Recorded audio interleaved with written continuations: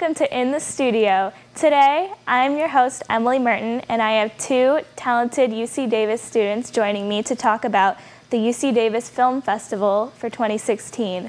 Hi guys, thanks for joining me. No, thank you very much. So um, to start out, why don't we just introduce ourselves? Um, so do you want to introduce yourself and tell me um, your role in the making of the UC Davis Film Festival? Okay, so my name is David. Um, I am a third year UC Davis undergrad student. Um, I think officially my title is um, assistant producer, um, but basically I manage the social media aspects of um, film festival, outreach, marketing, things like that. Great, that's important. That's how you get your audience, right? Yeah. All right, um, what about you? Uh, I'm Eran Lilley, and I'm an associate producer. I'm currently a senior, and I've been going to UC Davis for about three years now. I've taken on a, a variety of responsibilities. Most of them have been involving uh, the production of some of our promotion material, as well as a, a trailer that we're currently creating. And I've also been uh, assisting with the creation of a, a, separate event in which we hope to promote the festival. Awesome. So, uh, what kind of films are featured in this? Is it students from UC Davis, or what? Is it local films, or what? All of them are from uh, UC Davis students. Awesome. So, all of them within a certain department, or is it just anyone who wants to participate can?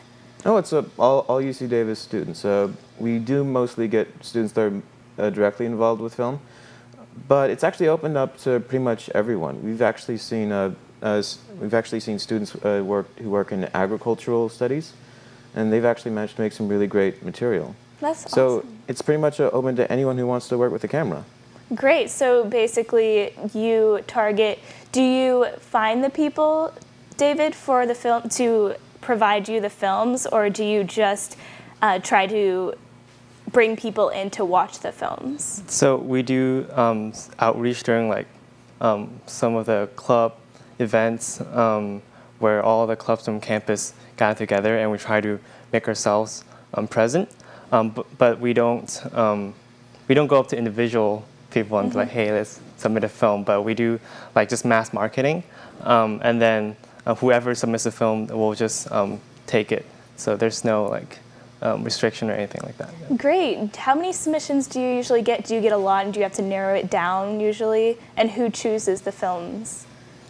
I want to say about 50 films, um, and usually it's the faculty that goes in and watches all the films, and they will nominate um, the different categories and awards.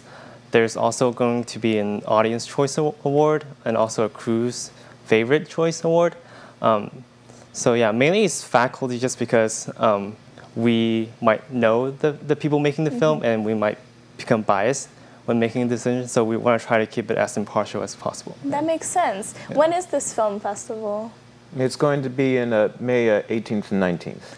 Great, of 2016? Yes. Awesome. So oh, there is a, uh, the submission is actually uh, in uh, April 22nd because there needs to be a certain time when we can all uh, select the films and mm -hmm. also make sure that they'll be able to be seen on the theater correctly. Mm-hmm. Because mm -hmm. there's a lot of different technical aspects that go in from making a small digital film that one might see on a computer to something that someone would actually project onto a major theater screen. Mm -hmm. And it's a very different experience for, for the students. Mm -hmm. Where is the um, film festival held this year or next year? Uh, traditionally, it's at the uh, Davis Varsity Theater in the downtown region. How do you get the Varsity Theater? Do you have to fundraise for it?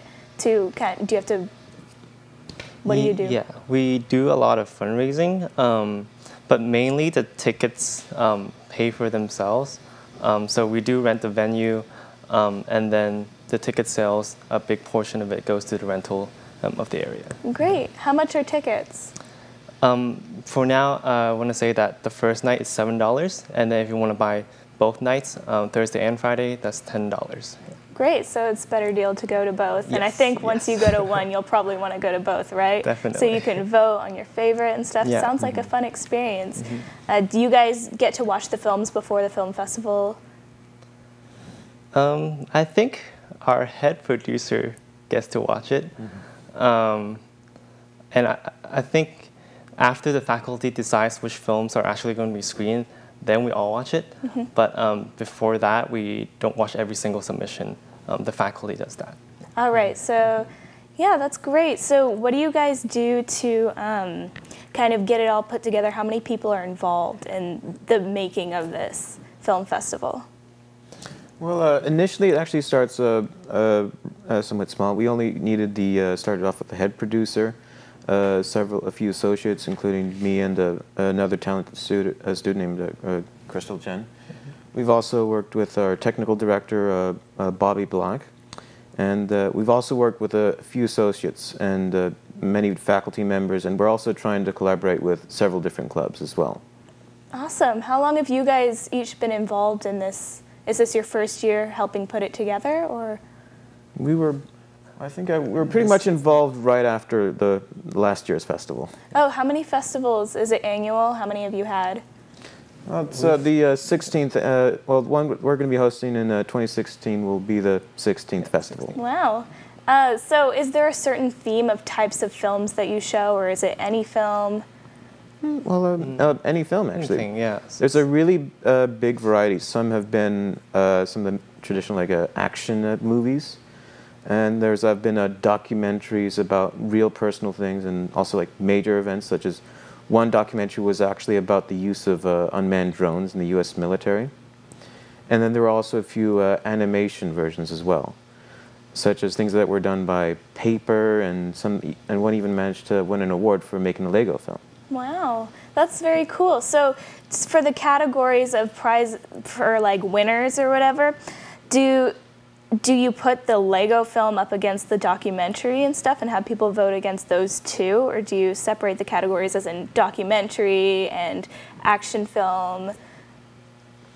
Well, I, there are separate categories. They tend to change over the years. Uh, I don't know exactly about uh, Lego. The Lego is usually in a different category because not just Lego. It's also like the claymation, the paper animation, and a lot of uh, digital animation as well. They tend to be in the category of animation, but it would be possible to blend those two if someone made a documentary animation. Yeah, that makes sense. But that's merely a speculation for now. And we couldn't exactly say that before someone turns in the Lego documentary. a documentary on how to make a claymation. Absolutely. yes. So, what have you done to fundraise so far? Um, for this year, uh, we actually have a fundraiser coming up on Monday at Tebow in South Davis. Um, and that's actually going to be our first fundraiser for the year.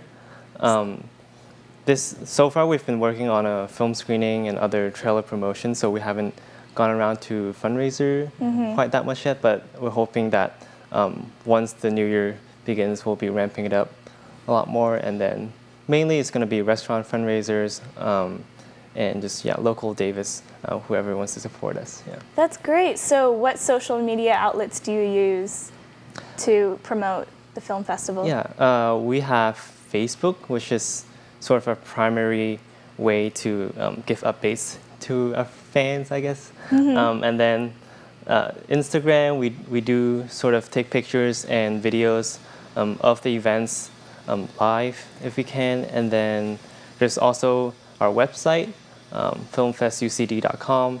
That's more of the official announcements or submission page for people who want to get more involved. Um, and then, yeah, Vimeo and YouTube tends to be the platform where we use to upload the winners after the film festival is completed. yeah. And great. Does is it public that um, Yes, so films yeah, after? everyone can um, watch it online. yeah. That's great. What's your Instagram name for people who want to see more, and your Facebook page? Instagram is um, at FilmFest UC Davis. Um, then Facebook is facebook.com slash filmfestucd. Great. Do you think that social media has a big role in getting people to come to the film festival?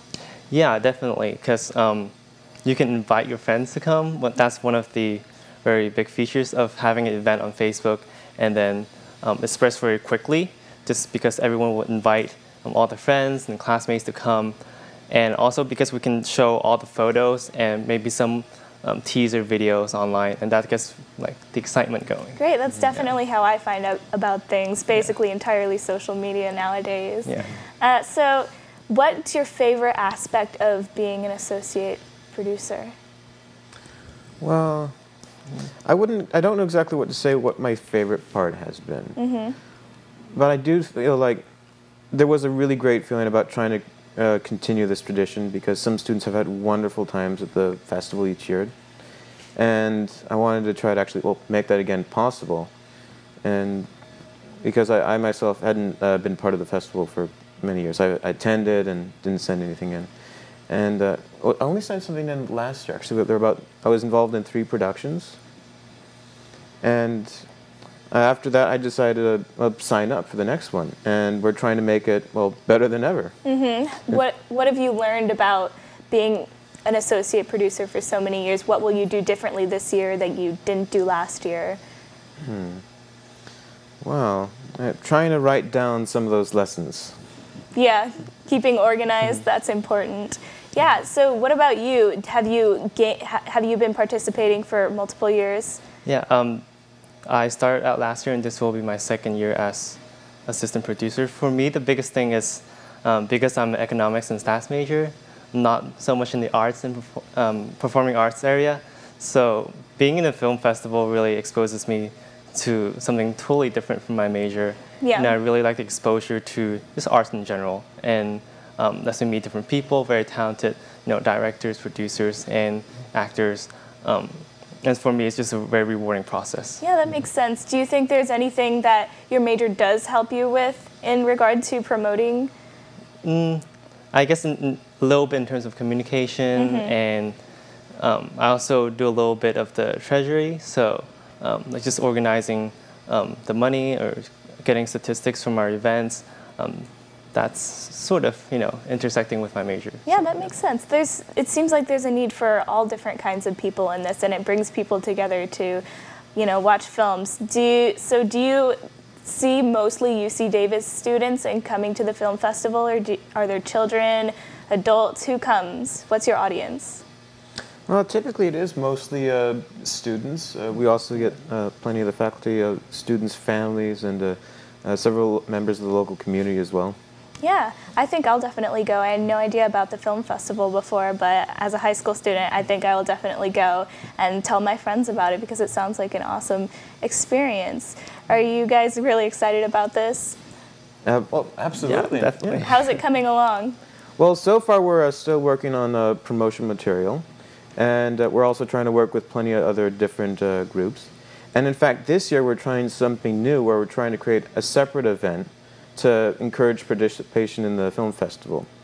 Uh, we're trying to get all the other universities or the other UC campuses to submit some of their own works and uh, show some examples of the work they've done. That's so great. So possibly in the future, UC Davis could host a myriad of schools and creating a giant film festival from all the UCs.